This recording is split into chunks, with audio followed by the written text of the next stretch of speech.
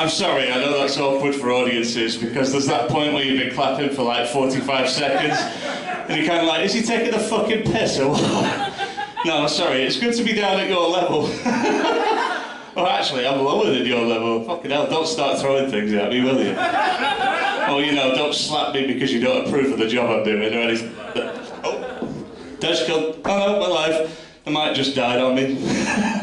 just like my grandpa. Anyway, um, sorry, that wasn't planned. None of this is planned, I'm an idiot. Hello. My name, my, my name is John Porter. Hi. I have cerebral palsy. This isn't like an Alcoholics Anonymous thing. I just have to address it at the start. In the same way that if I came unarmed, you'd be going, what the fuck's he doing with that? You know, it's kind of something that I have to address. And generally it's all right. It was interesting, actually. Uh, I did a fundraiser last week. I was actually uh, performing at a fundraiser as opposed to being the subject of one, which is usually what happens. I have to get some money from somewhere now the government has stopped my benefits, so there you are.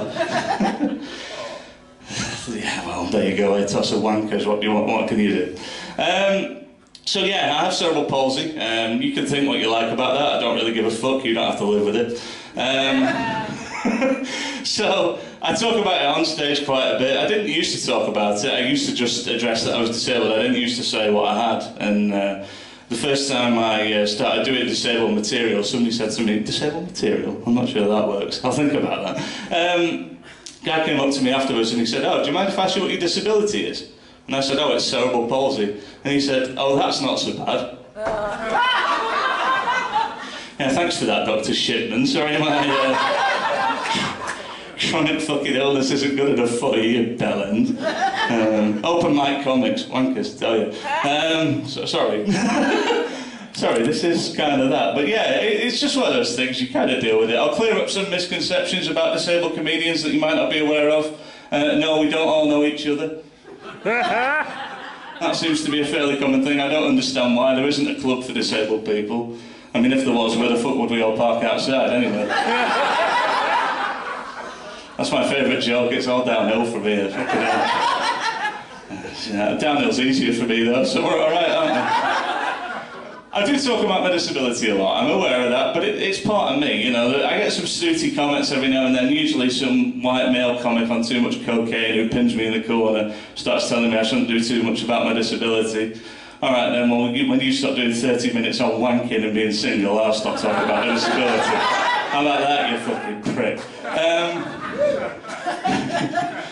Tony's clapping at the back because that's what his agent's like. His ex-agent was like.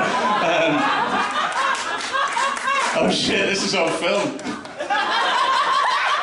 It's alright, you were never going to fucking sign me anyway, were you? Um,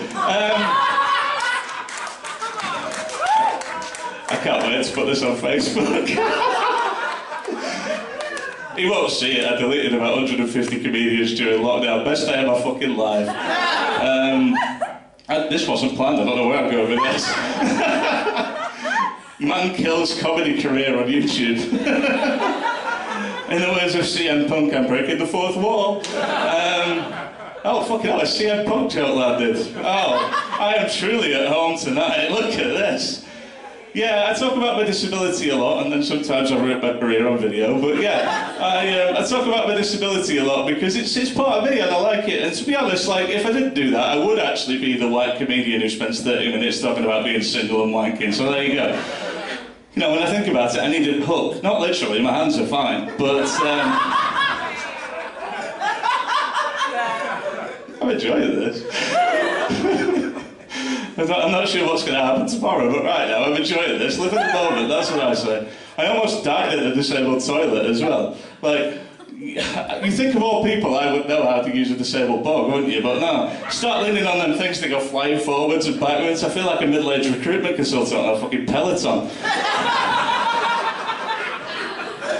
Only wrote that in the box, that's brilliant, isn't it? I'm going to be to that again. I'm sorry if there are any recruitment consultants in. Not really, I don't, I don't think it's your type of gig though.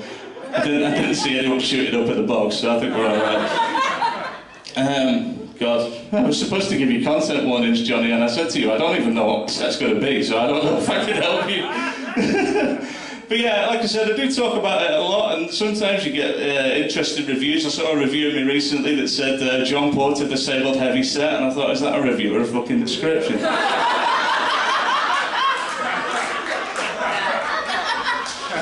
I'm glad you like that one.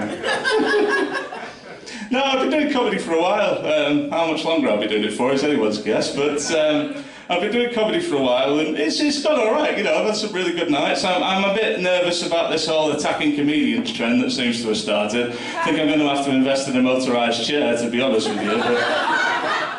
I mean, to be honest, when, when, when audiences turn on me, it can go quite badly. I mean, uh, there was a gig I did once in Wigan where they started throwing things at me. And to be honest, it just became the world's saddest game of Space Invaders because all I could do was move side to side. So... Never mind, it's only fucking Wigan. Um... Sorry, Wigan. Um... Well, I keep referencing the camera. I'm turning into Jim from The Office now. I, I, I don't know what this is. Um... This is not this is not what I normally do. Yeah, it is. Shut up. Um, so yeah, I've been doing comedy for a long time. I've done the Edinburgh Festival twice, which I'm quite proud of. You know, I, I think that's a good thing. I'll always be proud of that. Thanks. That's the first time it's ever got applause. I weren't planning for that. Fucking hell. Um, yeah, I've done the Edinburgh Festival twice. That was good fun. I must admit though, it, it does leave a bit of a dent in the bank balance. And to be honest, it pissed me off a little bit that I made more money outside my gigs than I did inside. And these Japanese tourists thinking that my walking was some sort of experimental street theatre give me money. It's, uh, it, it, wasn't a profitable endeavour, to be honest, to the point where my credit card company sent me a letter yesterday and uh, looked at the envelope and it said outstanding balance. I thought, well, you've not fucking seen me walk lately.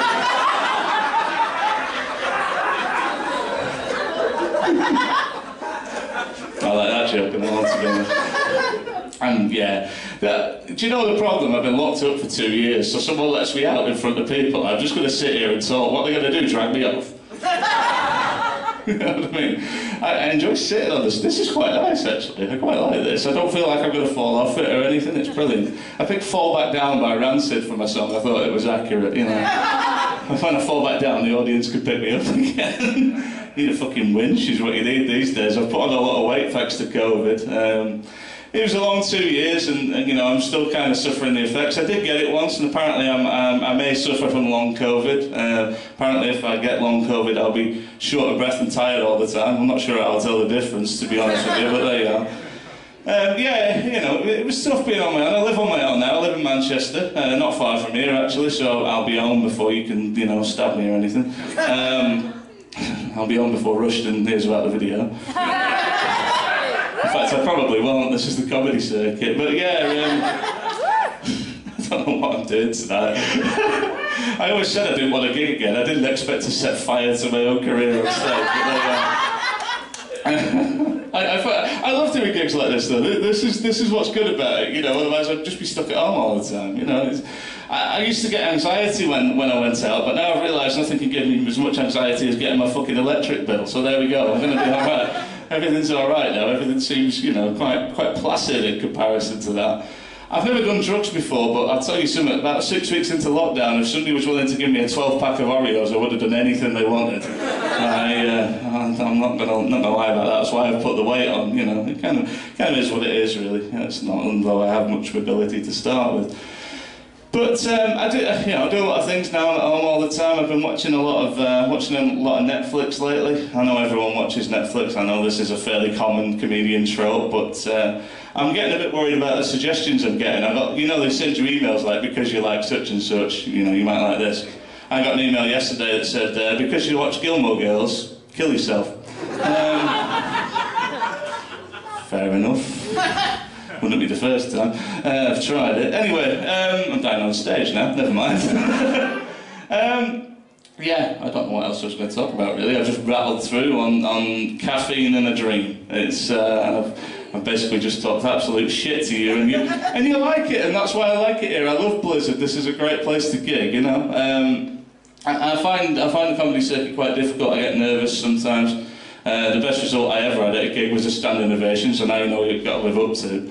Um, admittedly, it was only when I went home that I thought they might have been being fucking sarcastic, but there's not much you could do about it at that point.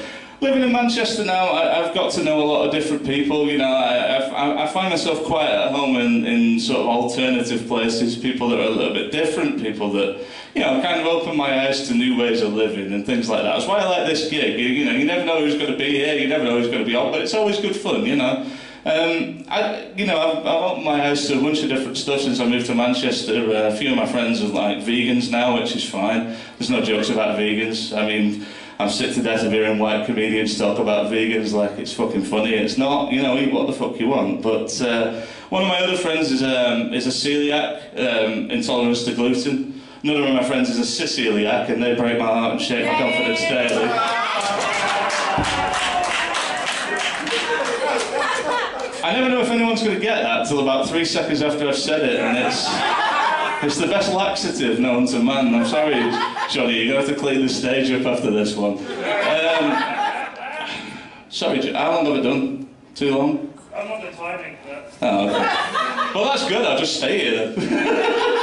I, I, am the Ken Dodd of comedy now that he's dead. I, I am him reincarnated. Um, I'm not Scouse and I don't evade tax, but apart from that, um, everything's so, I don't know what the fuck I'm talking about, sorry. Um, there's been some talk about drugs tonight. We talked about weed earlier. Um, there's been a few mentions of different bits of bats. Uh, I've never done drugs personally. I'm, I'm very white I'm very sort of bland. Uh, I actually work in IT, which is why I really like the bright lights because I don't have to look any of you in the eye. But um, I've never done drugs because I'm kind of scared of the effects. You know, I, I heard that if I uh, if I started smoking weed, I'd get really paranoid and think the entire room was staring at me.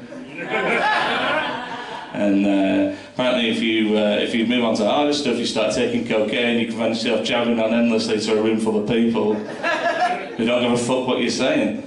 Um, so that would be quite scary, wouldn't it? Anyway, if you did like me, I'd seek help immediately, but. Um, I, uh, I'm on Facebook, John Porter Comedy. Send me love, send me likes, send me affection, put a brick through my window, I don't care. I live in Montana House, you can't do much more damage to it. The scaffold will put anywhere. Um, somebody knows Montana House over there, that's good, yeah. Maybe you saw the documentary, I certainly fucking did. Um, yeah, if you did like me, John Porter Comedy on Facebook. Um, yeah, as you've probably guessed, I'm desperate for human interaction, so anything I'll do, follow me home, it's quite easy to do. You don't need much speed to do that. And I'll, uh, I guess I'll see you soon. Good night.